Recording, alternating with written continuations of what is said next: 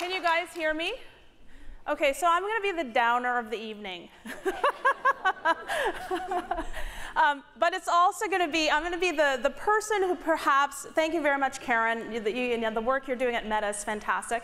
I'm also the person who maybe be able to provide some tips on what Karen suggested our call to action to be which is how do we actually move that needle in terms of diversity inclusion in our community in the tech sector, okay?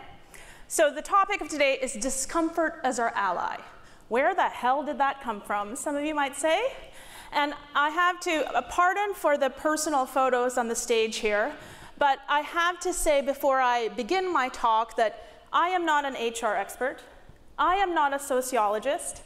I'm not a political economist. I haven't studied um, women's studies. Um, I don't know all the ins and outs of the stats around um, inclusion and diversity in the tech sector. So this talk really had to come from a different place for me. Um, yes, I am a woman of color, and I've been in the tech sector for a very, very long time, mostly all my career. But really, my sort of, I'm, I'm kind of not even comfortable calling them insights, but my questions that I'd like to share with you and I'd like to continue to speak with you guys about after the, after the whole event tonight is really um, based on this intergenerational moment that I find myself in. You know, as a woman of color who's been in the tech sector trapped in technology, hence that picture. That's a Liebel um, um, conceptual art piece. Um, as a woman who's a mother now with a seven year, uh, eight year old son, um, who's very much um, embroiled in tech.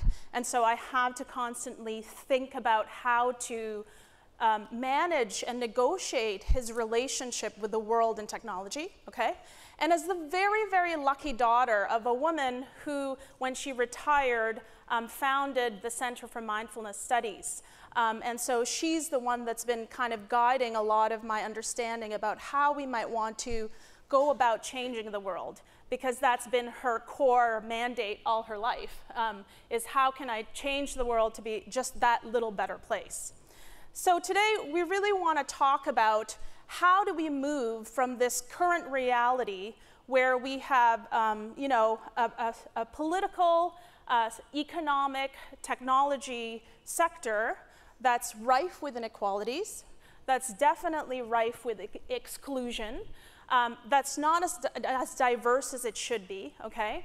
And how do we move from that current reality to a much more open reality, to a much more inclusive one, diverse one, understanding, as um, you very nicely said, Carolyn, that a lot of these issues are systemic. And so I'd like to talk about the three types of discomfort I think we're going to need to embrace, frankly, going back to your point, Karen, that it comes down to each individual um, in order for us to actually move that needle, okay? So the first set of discomfort that I think uh, we all can relate to is physical discomfort. You know, we are all uh, uh, of the mind that we don't want things to be too far, or the public transport's too crowded, or I don't want to be too late, or I'm getting up too early, so I have to figure out how to get there. Um, things are too complicated, it's too tall, it's too short, etc. It's essentially too much trouble. And tech has essentially provided us with a whole host of conveniences that will fix this particular, these sets of physical discomforts, okay? You guys know all, you all know where I'm going next, so I'm just gonna go there. Oops, I do have to press hard, okay? Who can spot that thing that should be deleted on the screen? this is my cell phone today, and this is a tension that I've had to deal with like up until this moment actually. So how many people here still have Uber on their phones? Come on, I do. Come on, let's just see. So that's not too bad, actually, right? So there are quite a few of you have already deleted Uber. Um, but this is one of those issues that we all grapple with, which is do we allow the convenience um, that Uber provides, the fact that I don't have to pull out my crazy card at the end of the ride, the fact that it's easy and it's a lot cheaper, um, or presumably cheaper, do I let those types of conveniences trump the myriad of issues that have plagued that particular company. Um, not least of it, which is the sexual harassment lawsuits, um, the IP stealing lawsuits, the alleged IP stealing lawsuits, et cetera.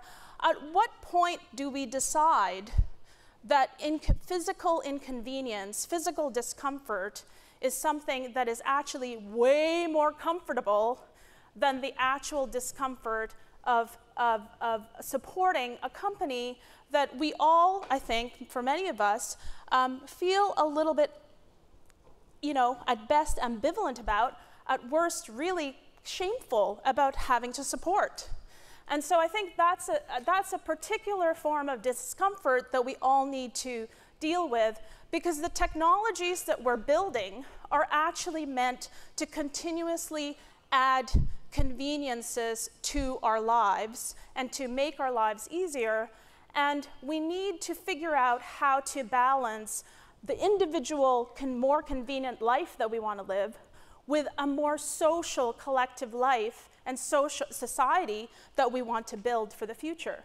So this is a quote from an artist um, from 1993, which is a set of uh, essays that um, uh, sort of asked a bunch of theorists and artists to think about um, how to rethink technologies.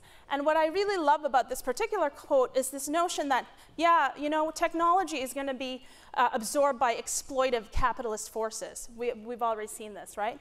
But what's more important is we have the capacity to rechannel that into more productive modes of not just singular, but collective becoming.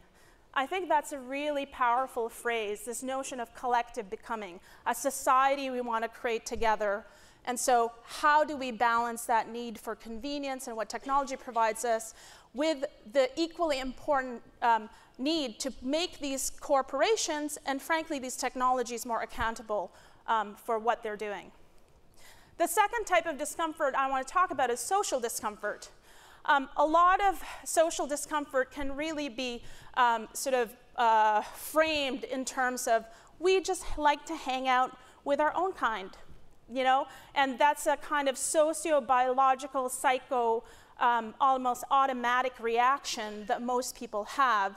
You know, they just want to hang with the zombies. If you're a zombie, you want to hang out with the zombies. If you're a wizard, you want to hang out with the wizards, etc. And so the, the discomfort, the inconvenience um, around having to actually open yourself up to the other or um, open yourself up to uh, someone who doesn't have the same lived experience as you can be very inconvenient to most people, right? And what's really problematic about this particular form of social discomfort is that it's an automatic reaction that we've actually um, uh, integrated into how we view the world. And so a lot of this discomfort um, is being represented through what's called unconscious bias. So if you just open up Google right now or do searches, you'll see a host of Silicon Valley companies really, actually what they've done, in fact, is they've invested in a lot of apps that help them figure out how to not have unconscious bias. Um, and so they're all kind of trying to work towards how do we make sure that we have blind sort of um, uh, studies, blind juries, so that the people that we would hire into our corporations are not being um, prejudiced by the unconscious biases that we have, our need to be with our own kind. One of the difficulties about the notion of unconscious bias, however, is that it may not actually be around this notion of tribes necessarily or our own kind, but it's also the fact that typically we also have a predilection towards only choosing people from within our own networks. So that's not just, it's, so it's not just an issue of um, explicit prejudice or explicit bias against a, an ethnic group or a gender group. It could simply be that you're not even getting access to those types of people because the networks that you're working with are the familiar networks that you're in. So there's been a lot of really interesting articles written about how for example, um, Google and Facebook and tech recruiters typically go to Stanford and Yale, but they never go to Howard University, or they never go to Ryerson University, or they never go to these kinds of places. So they're looking for people within the networks that are familiar to them.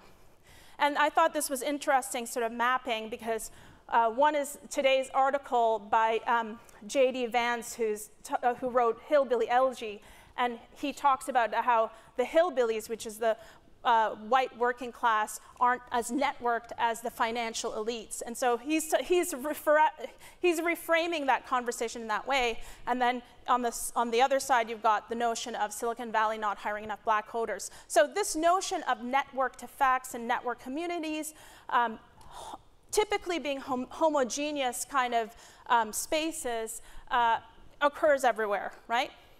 And the last thing that I think, you know, in terms of social discomfort is often we're too embarrassed to stand out. So even though we may be aware that um, something is not quite right, do we want to be that type of person to put ourselves into that situation where we're the one that's looked at or, or um, uh, thought as having said something inappropriate or um, done the kind of, uh, made too much of a fuss of something, right?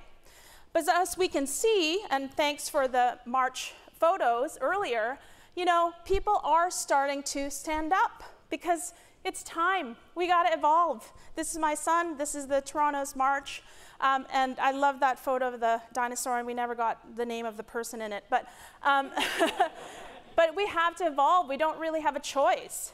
And I think part of the key part, the part of the, the issue that we have to grapple with is that because a lot of these things are automatic, you know, our discomfort is automatically arises, our reaction automatically um, kind of uh, gets put out there.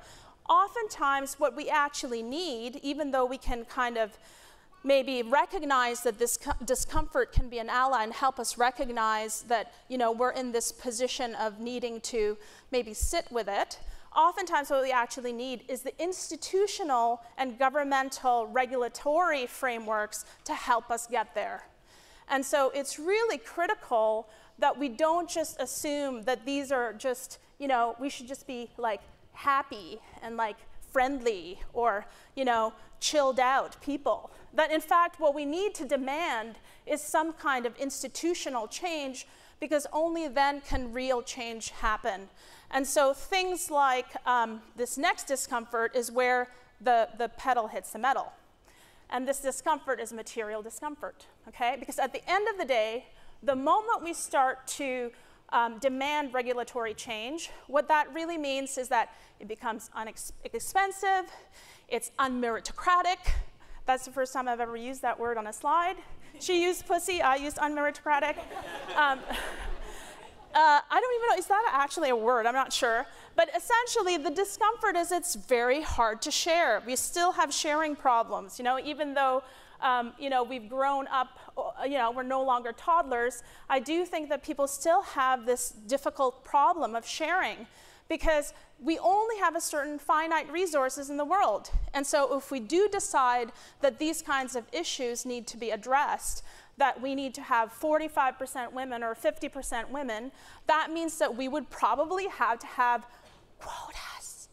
I'm doing that because apparently it's illegal in the States to have quotas. So, and this is like affirmative action type stuff, right? So Intel, this is a great article that people should read um, uh, that just came out this spring um, in the Atlantic, Why is Silicon Valley so awful to women? And they go through this whole like, this is what everyone's doing, unconscious bias training, da da da, et cetera. Dum. And then at the bottom of the article, they basically said, you know what? The only thing that worked is when Intel, Intel attached bonuses to having people, 40% um, uh, um, employees come from women and diverse communities, female and diverse communities. And indeed, the article sort of suggests what happens when that occurs. So, I'm one minute away. My point is discomfort is our ally.